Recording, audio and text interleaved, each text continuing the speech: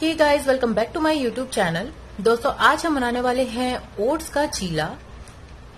जो लोग health conscious है और प्लेन ओट्स खा खाकर बोर हो गए हैं, उनके लिए ये रेसिपी बिल्कुल परफेक्ट है। खाने में बहुत ज़्यादा यमी होती है। तो चलिए इसे कैसे बनाना है स्टार्ट करते हैं। दोस्तों ओट्स का चीला बनाने के लिए हमें यहाँ पे आधा कप ओट्स ले लेना है। आधे कप ओट्स के लिए हमें आधा कप ही पानी ले लेना है। इसे अच्छी तरह से मिक्स करें। आप देख सकते हैं ओट्स इसमें अच्छी तरह से भीग गया है। अब हमें इसे ढककर 15 मिनट के लिए रेस्ट देना है, ताकि ओट्स अच्छी तरह से फूल जाए। 215 मिनट हो गए हैं। इसे ओपन करके देख लेते हैं। आप देख सकते हैं, ये काफ़ी ज़्यादा थिक हो गई है।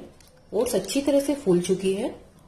दोस्तों, अब हमें यहाँ पे कुछ वेजिटेबल्स ऐड करने हैं। उसके लिए मैंने यहाँ पे बारीक कटी हुई मिर्च, टमाटर, प्याज और धनिया लिया है। आप अपनी पसंद का कोई भी वेजिटेबल इस पे यूज़ कर सकते हैं, जैसे कि कैप्सिकम और कैरेट यूज़ कर सकते हैं, गोभी यूज़ कर सकते हैं, जो आपको अच्छा लगे आप वो यूज़ कर सकते हैं। अब यहाँ हमें थोड़े मसाले ऐड करने हैं, उसके लिए मैं यहाँ पे एक चौथाई चम्मच हल्दी पाउडर ले रही हूँ।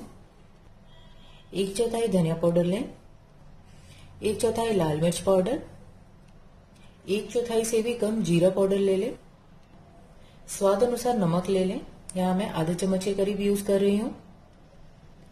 दो चम्मच के करीब बेसन ले लें। एक चौथाई चम्मच के करीब आमचूर पाउडर लें। आप इसकी जगह पे नींबू का रस का भी यूज़ कर सकते हैं। इन सभी को अच्छी तरह से मिक्स कर लें। दोस्तों, अब इसमें पानी ऐड करें। हमें इसका घोल बिल्कुल उत्पम जैसा रेडी करना है। दोस्तों, आप देख सकते हैं, इसका घोल बनकर बिल्कुल रेडी है। इतना ही पतला रखें इसे। दोस्तों अब मैंने यहाँ पे एक पैन चढ़ा लिया है। इसे अच्छी तरह से गर्म होने दें। दोस्तों, हमें इसमें आधे चम्मच के करीब ऑयल डालना है। अगर आप घी पे इसे सेकना चाहे तो आप इसे घी में भी बना सकते हैं। अब यहाँ हमें एक चम्मच इस तरीके से बैटर लेना है। और इस पे डाल लें। और इसे इस तरीके से फैलाएँ। थोड़ा बैटर और लें।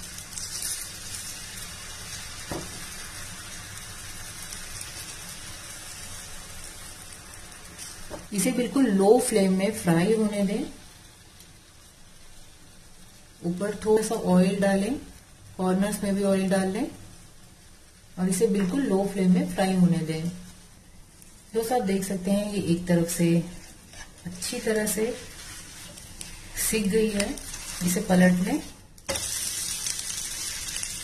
बिल्कुल भी हड़बड़ी ना करें, इसे बिल्कुल लो फ्लेम में आराम से सीखने दें।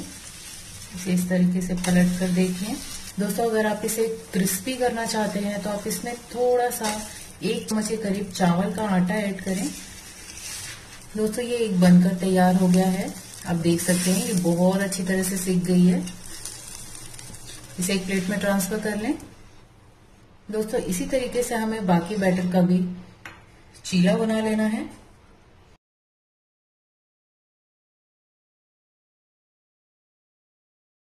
दोस्तों, ये ओट्स का चीला बनकर बिल्कुल तैयार है। आप देख सकते हैं, इसे बनाना कितना आसान था। खाने में ये बहुत ज़्यादा टेस्टी है।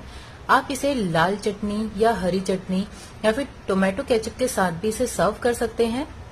आप भी इस रेसिपी को ज़रूर ट्राई कीजिएगा और कमेंट करके ज़रूर बताइएगा कि आपकी रेसिपी कैसे बनकर तैयार हुई है। और मेरी इस रेसिपी को लाइक और शेयर करना ना भूलिएगा।